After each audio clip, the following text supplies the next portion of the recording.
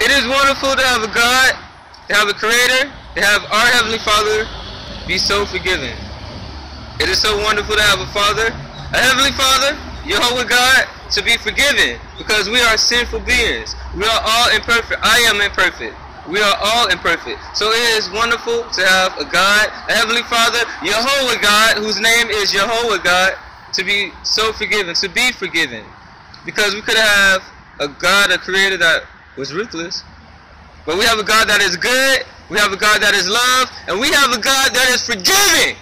Yes, we have a God that is forgiving. So amen to that. Amen to Yahauwah God for being forgiving.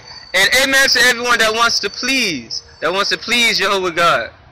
And don't want to disappoint, but want to please God.